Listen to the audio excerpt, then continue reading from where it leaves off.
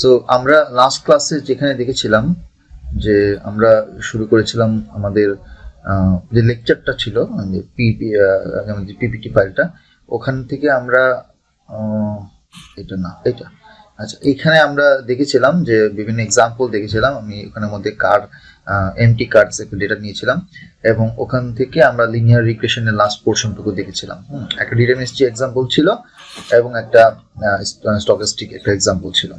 তারপরে আমরা এটা শেষ করে দেন আমরা আমাদের কোডে চলে গিয়েছিলাম এবং কোডে আমরা লাস্ট দুইটা ক্লাস আমরা কোড করেছি।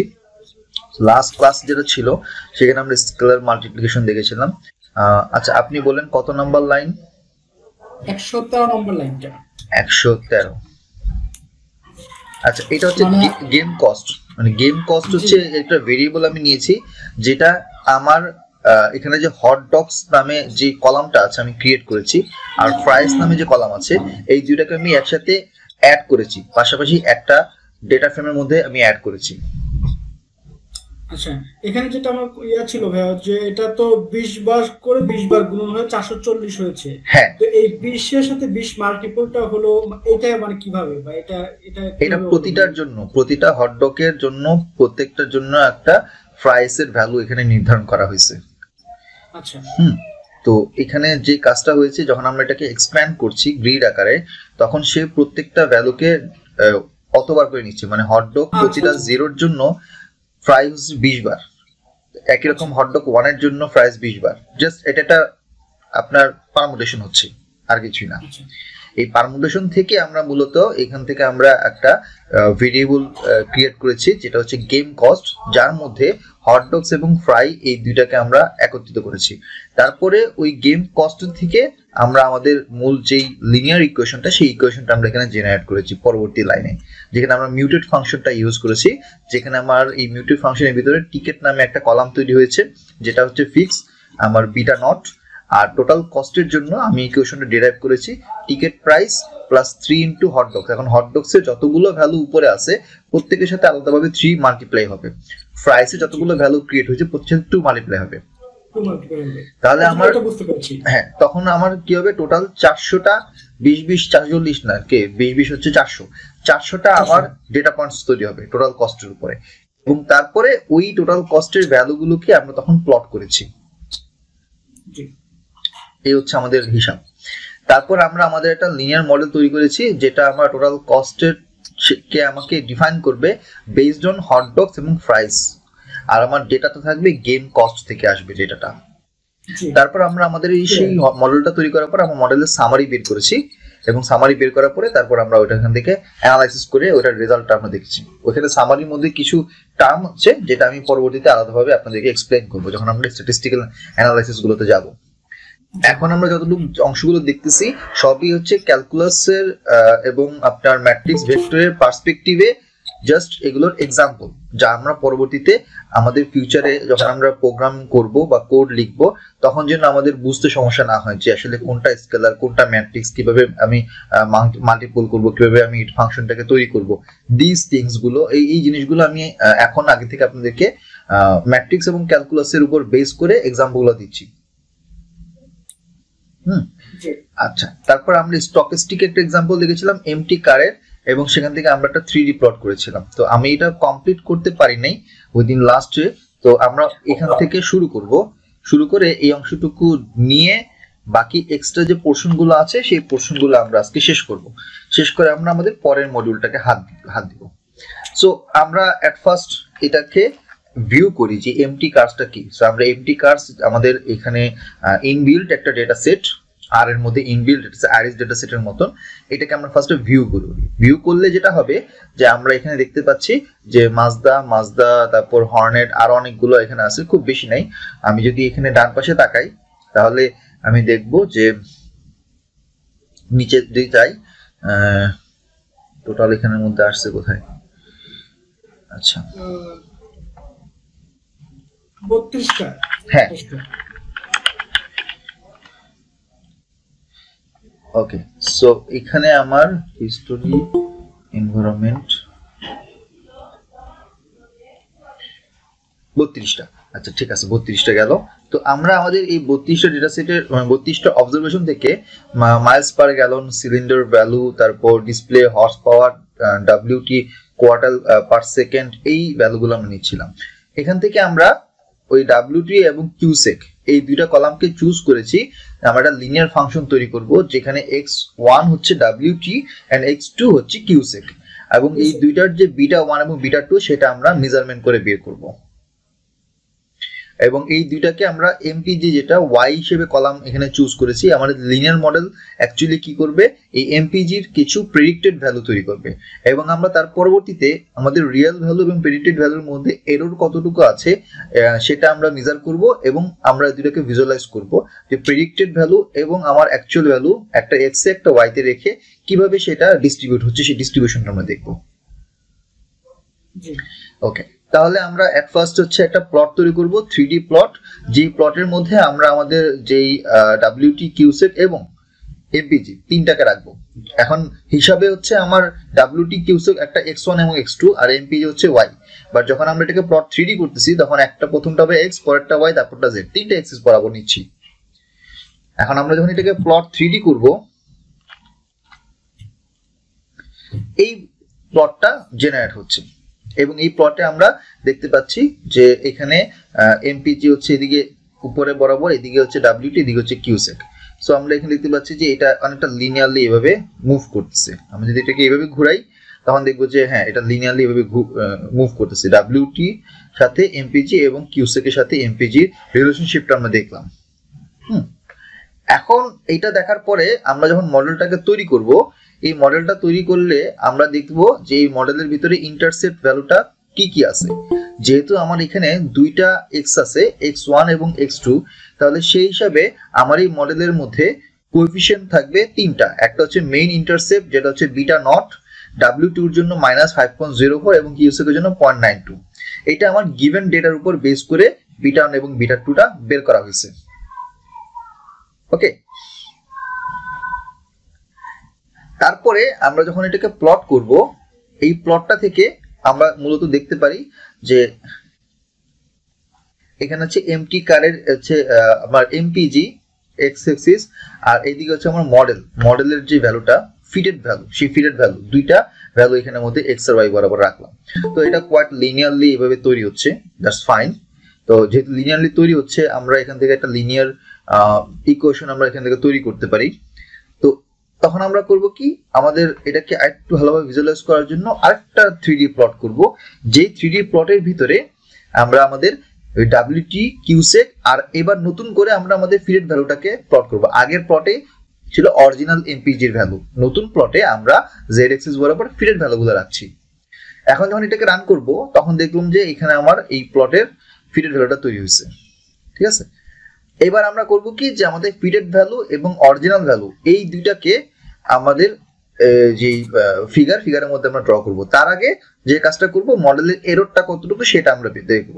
তো মডেলটাকে যদি আমরা রান করি, তাহলে আমরা দেখতে পারি যে মডেলটা হচ্ছে এরকম ফর্মুলা এমপিজিটা হচ্ছে আমার Y and with respect to X one হচ্ছে W one W T and X two হচ্ছে কিউসে আর আমরা ডেটা নিচ্ছি এমটি কার থেকে। এটা আমরা এই ফাংশনটাকে কল করে এই ইকুয়েশনটা তৈরি করতে পারি। আর এখানে কোএফিসিয়েন্টগুলো আমরা পাচ্ছি। ফার্স্টে হচ্ছে nineteen point seven four two as beta naught তারপরটা হচ্ছে বিটা ওয়ান তারপরটা বিটা টু এখন যদি আমরা মডেলের সামারি বের করি, তাহলে আমরা একটা বড় একটা সামারি পাই, যেখানে রেসিডুয়াল ভ্যালু দেওয়া আছে। রেসিডুয়াল হচ্ছে আমার এই ওয়াই এর minimum value first quartile median third quartile এবং ম্যাক্স ভ্যালু এবং এখান থেকে এস্টিমেটেড স্ট্যান্ডার্ড এস্টিমেটেড ভ্যালু হচ্ছে nineteen point seven four WT হচ্ছে মাইনাস ফাইভ আর প্রত্যেকটার জন্য স্ট্যান্ডার্ড এরর দেওয়া আছে এররের মানটা, আর টি ভ্যালু দেওয়া আছে, আর হচ্ছে প্রবাবিলিটি ভ্যালু দেওয়া আছে, বা পি ভ্যালু দেওয়া আছে। আর পাশে স্টার মার্কিং করে এটার সিগনিফিকেন্ট কোড হিসেবে দেওয়া আছে, যে কত সিগনিফিকেন্ট এটা সিগনিফিকেন্স কোনটার বেশি, কোনটার কম। সো আমরা দেখতে পাচ্ছি এখানে ডাব্লিউ টুর সিগনিফিকেন্সটা বেশি, কারণ এখানে তিনটা স্টার দেওয়া আছে। এন্ড এটা হওয়াটা স্বাভাবিক, কারণ এখানে এস্টিমেট আমরা এস্টিমেটে দেখলাম যে ডাব্লিউ টুর এস্টিমেট হচ্ছে minus five point zero four which is very large এবং এটা নেগেটিভলি কোরিলেটেড এবং এখান থেকে আমরা মাল্টিপল আর স্কোয়ার যেটা আর R square value by point eight two six four আর এটার এই মডেলটার একটা একটা আপনার matrix performance matrix one of the performance matrices কারণ অনেকগুলো ম্যাট্রিক্স এর মধ্যে আমরা এখানে বেসিক আর স্কোয়ার ভ্যালুটা দেখতে পাচ্ছি। R square value F statistic degree of freedom P value so এই পর্যন্ত আমরা আমাদের একটা সামারি পাই। পরবর্তীতে আমরা যেটা করি যে আমাদের এই এররটাকে মেজার করার চেষ্টা করি। মেজারটা করব কীভাবে? অ্যাজ ডেটা ফ্রেম হিসেবে নিয়ে আমরা এটাকে সি বাইন্ডের মাধ্যমে দুইটা ভ্যালুকে একত্রিত করছি। কি কি? একটা হচ্ছে আমার মডেল থেকে এমপিজি আর একটা এমপিজির মডেল থেকে ফিডেড ভ্যালুস এই দুইটা থেকে আমরা যখন এররটাকে মেজার করব, তখন আমরা এটাকে রান করলে আমাদের দেখতে পাই যে এররটা এখানে দুইটা কলামে দেওয়া আছে, একটা ভি ওয়ান একটা হচ্ছে ভি টু ভি ওয়ান হচ্ছে আমার অরিজিনাল ভ্যালু আর ভি টু হচ্ছে আমার প্রেডিক্টেড ভ্যালু এখন এই দুটো ভ্যালু থেকে আমরা এদের অ্যাকচুয়াল এবং প্রেডিক্টেড ভ্যালুকে কলাম নেম আকারে মেজার করে রাখতে, কারণ এর আগে দেওয়া ছিল না, আমি এটাকে অ্যাড করলাম। এখন আমরা এখান থেকে একটা আলাদা কলাম তৈরি করব, যেটা অ্যাকচুয়ালি কি করবে? দুইটা কলাম তৈরি করব সরি দুইটা কলাম তৈরি করব। একটা হচ্ছে এররটাকে বের করবে অ্যাজ দিন equation actuals minus predicted values আর একটা হচ্ছে তাদের স্কোয়ার ভ্যালু বের করবে। সো এই দুইটা আমি কলাম এবং এই কলামের ভিতরে কীভাবে সেটা ভ্যালুগুলো তৈরি হচ্ছে, সেই ইকুয়েশনটা আমি এখানে অ্যাসাইন করে দিব। তাতে হবে কি যে এরর মিজারটা আগে যা ছিল, দুইটা মাত্র মানে তিনটা কলাম ছিল। একটা হচ্ছে সেই অবজারভেশনস দ্বিতীয়টা হচ্ছে রিয়েল ভ্যালু তৃতীয়টা হচ্ছে আমার প্রেডিক্টেড ভ্যালু আরও দুইটা কলাম তৈরি হবে, যেখানে আমি একটা এরর একটা স্কোয়ার এরর পারব এখন যদি আমি এই অংশটুকুকে আমরা রান করি এরর মিজার্স তাহলে আমরা কিন্তু এখানে এরর মিজার্সটা পাই।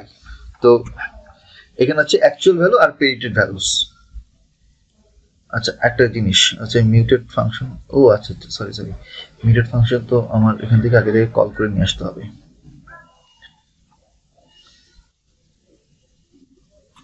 টাইডিভার্স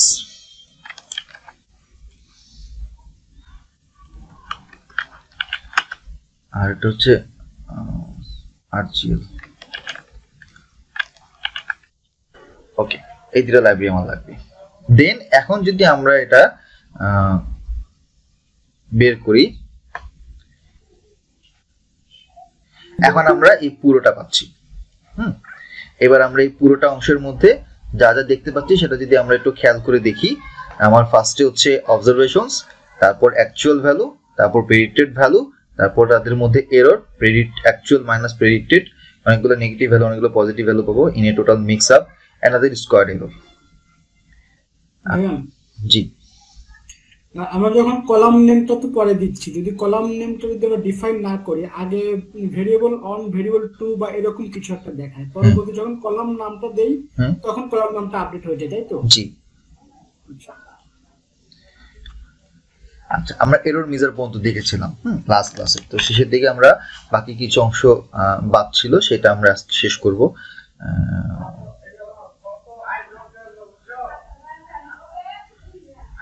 এই এরর মেজারটা আচ্ছা। তো আমাদের এরর মেজারটা আমরা কেন ইউজ করছি, আমরা একটু যদি দেখি, আমি এই অংশটুকু জাস্ট পার্ট সিক্স এর আগ পর্যন্ত কপি করে এই জায়গায় পেস্ট করে দিই। এটা দরকার নেই আপাতত আমাদের।